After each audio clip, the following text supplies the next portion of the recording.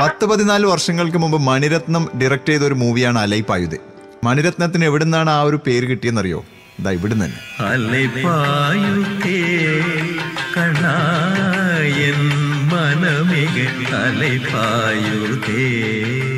ആയിരത്തി തൊള്ളായിരത്തി തൊണ്ണൂറിൽ വസന്ത് സംവിധാനം ചെയ്ത ഒരു സിനിമയാണ് കേളടി കൺമണി. ആ പേര് എവിടുന്ന് കിട്ടിയെന്നറിയോ?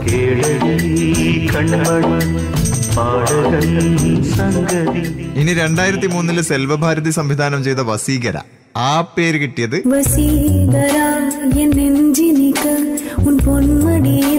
രണ്ടായിരത്തി അഞ്ച് സംവിധായകൻ ഭൂപതി പാണ്ഡ്യൻ. സിനിമയുടെ പേര് ദേവതയെ കണ്ടേൻ.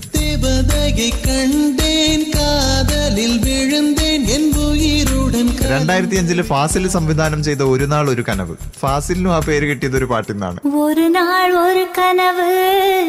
அதை நான் മറക്കവും മുടിയാത് ഇങ്ങനെ ടൺ കണക്കിന് പാട്ടുകളുടെ ടൺ കണക്കിന് കഥകളൊക്കെ ആയിട്ട് ഇത് മുസാഫിർ. ആ ഇനി എനിക്ക് എന്റെ പേര് എവിടുന്ന് കിട്ടിയെന്നറിയോ? മുസാഫിർ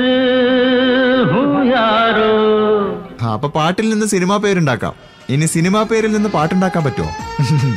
അന്വേഷിക്കാൻ സി ഐ ഡി മൂസ വരട്ടെ. പ്യാർ കിയാ പ്യാർ കിയാ